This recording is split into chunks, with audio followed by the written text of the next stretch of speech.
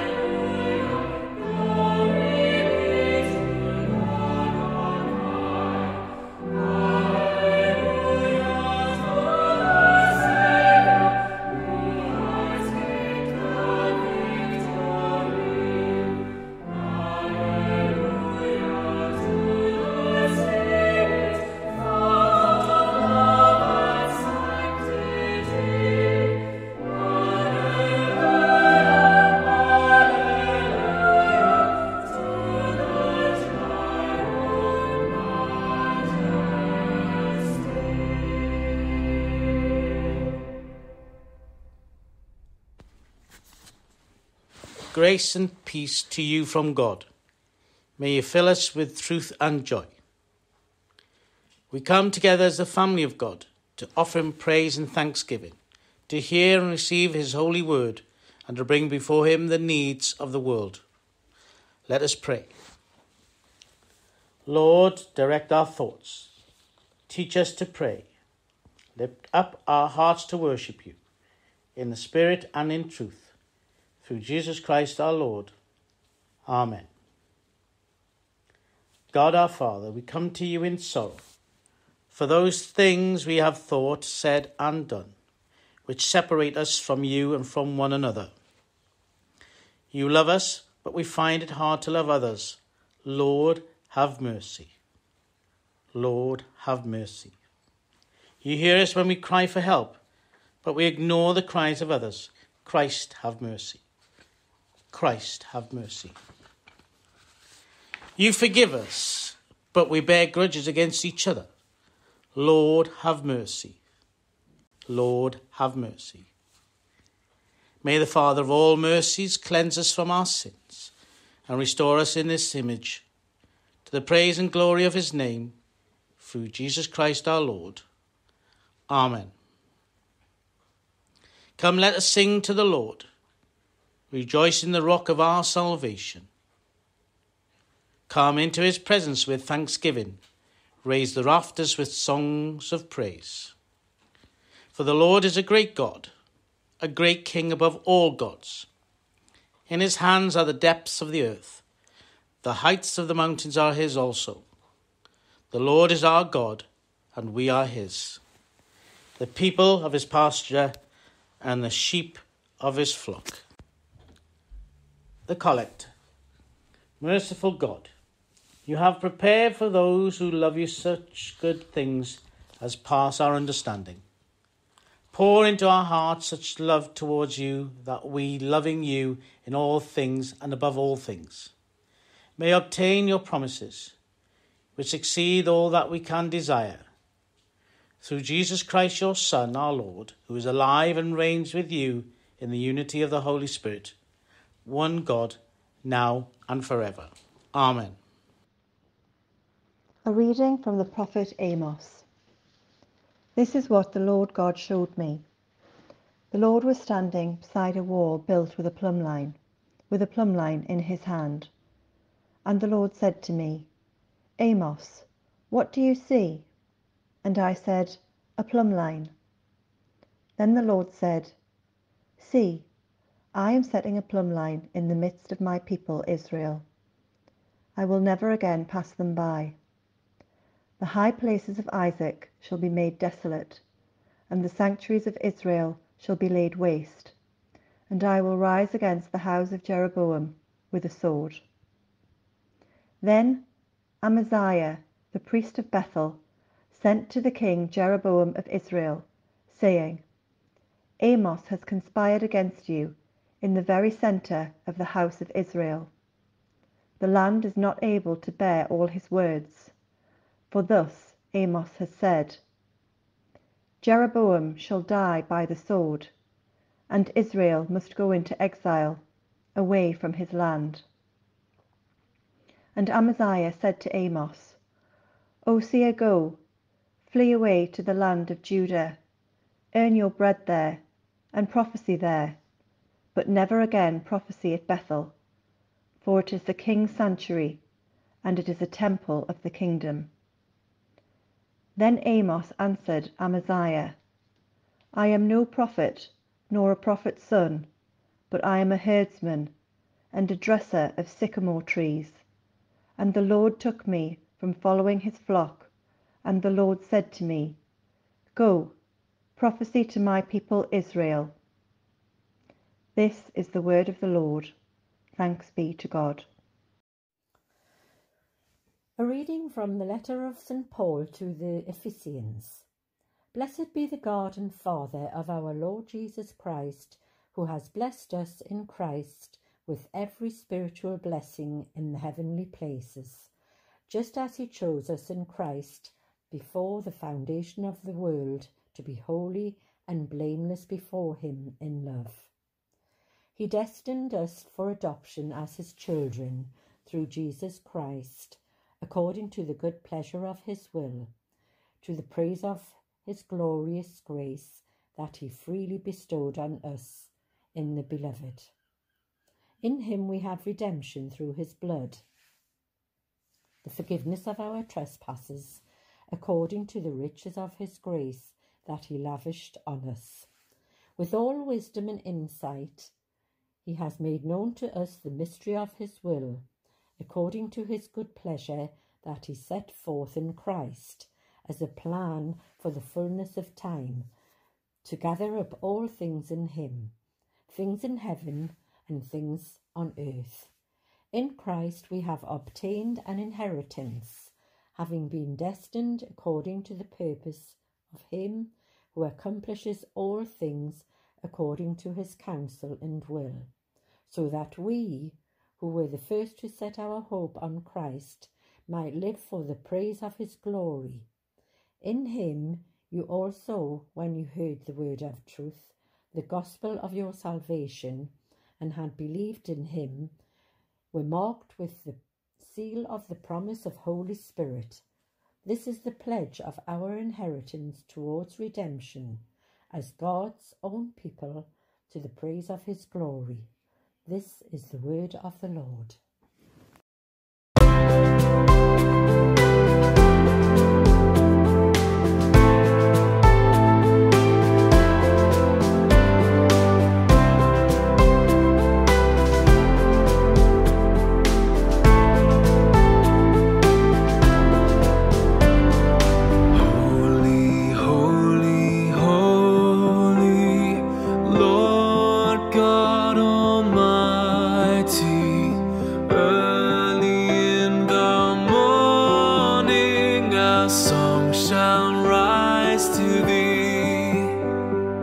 Holy, holy, holy, merciful and mighty. God in three persons, blessed Trinity.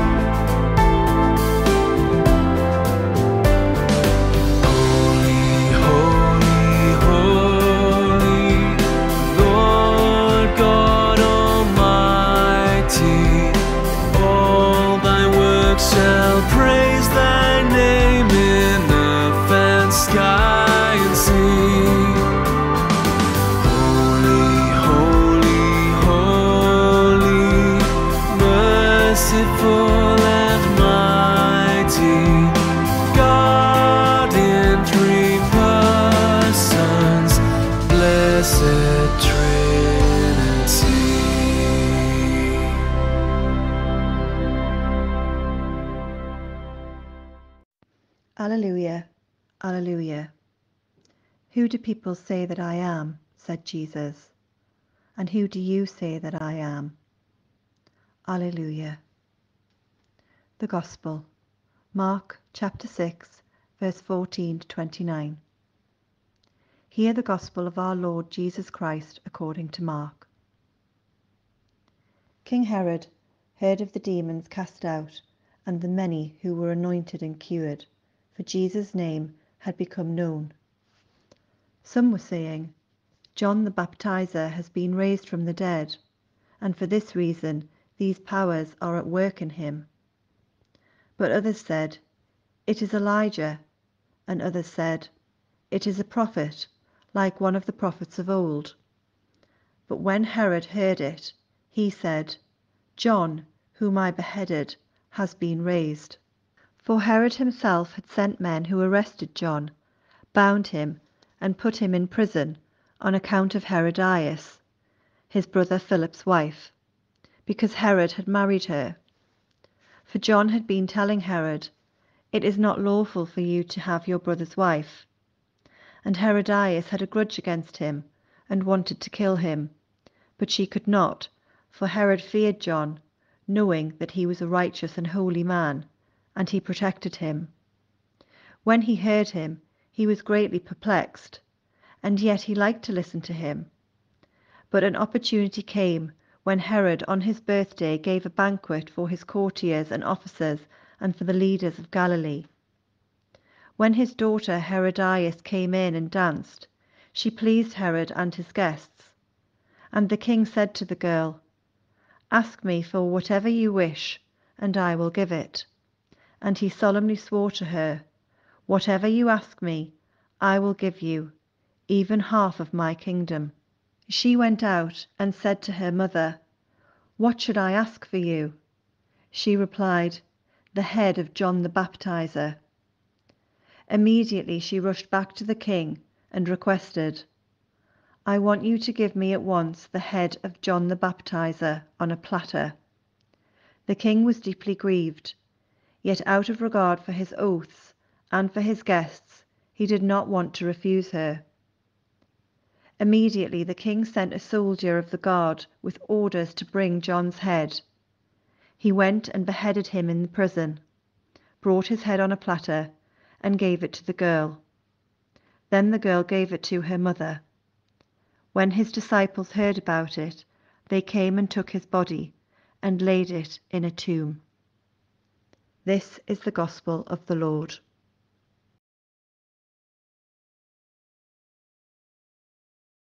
May I speak in the name of the living God, Father, Son, and Spirit. Amen. During this period of lockdown, we've all perhaps watched a bit too much television. Particularly, we've watched a lot of repeats of various series which have been on television over years ago. Well, I'm guilty as anyone. The other week I was watching an episode of The Two Ronnies.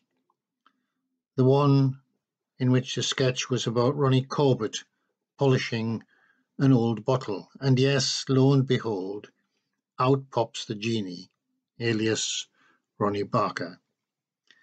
And the genie grants four wishes instead of the usual three. Why, I don't know with three, but much hilarity ensued. Perhaps it's got something to do with the Four Candles story, but that is another story. Children and many of us adults love a story that includes the granting of three wishes. We like to hear of what others would select in their circumstances, and it makes us think about what we would choose. Very often in the story, those who have the wishes find that they wasted them or are tricked into making a wrong choice. The fact that there aren't enough wishes can be part of the frustration. Who we are will shape the choices we make in life anyway, wishes or no wishes. In the story of Pinocchio, you may remember, it's not the wishes that win the day, but what really matters for the key characters in the story. It is a very moral story about people and values and relationships. In our reading from Mark, there are at least four people who have a wish or strong desire. John the Baptizer had made it clear that people needed to change their ways and seek after the will of God. It made no difference to him who he challenged. Clearly from his writings, John the Baptist held no punches as he went about preaching a message of repentance and the imminence of the kingdom. He had heard, like the rest, of Herod's marriage to Herodias, and wished or wanted that the king would change his sinful ways. Herod, for his part, had wished that John would shut up, and because he hadn't, he put him in prison. The daughter of Herodias, who in this reading is also called Herodias, but according to the historian Josephus, is named as Salome. She greatly pleased her stepfather Herod. Because she pleased Herod, she found herself being granted the big wish question. Whatever she wanted, it would be granted. But she's not sure what to request. So she goes to her mother, who gets her wish and sees that John is put to death. It would seem they were all losers. John is killed, Herod is deeply grieved, Salome loses the chance for half of the kingdom, and we know from history that Herodias loses her position and influence within a few years. And yet John, who pays the highest price that day, didn't need to wish because he had understood the will of God and did his best to live a life that reflected that. It isn't easy to speak out in God's name and challenge people. Jesus said that among those born of women, no one is greater than John. High praise indeed from Jesus the Messiah. He understood the struggle for good over evil and the need for the life, the light to pierce the darkness. If all we can do is wish, then we are no better than the rest of the world. By God's grace and Jesus' pattern for living, we can live in the real world and make a difference. The Christian life is a life to be lived, not a dream to be admired. To know what we must what must be done is not easy, and to do it is even more difficult. However, God understands our fragility and our confusion, and perhaps even our lack of faith. Remember, even John had to send his followers to Jesus just to make sure he had not got wrong the things that he was trying to do. The key players in today's gospel had real choices to make, and yet, apart from John, none of them had allowed their lives to be guided by God. The result is truly appalling. If only Herod had understood what John had been trying to do for him and the rest of their community. If only Salome had been mature enough to make up her own mind. And if only Herodias had understood what really mattered in life. Of course, it is easy to judge the folly of others and not see our own ignorance. All too often, we can fall into the trap of thinking that we would know what to do and what to ask for. We would wish for the right things and in the right order.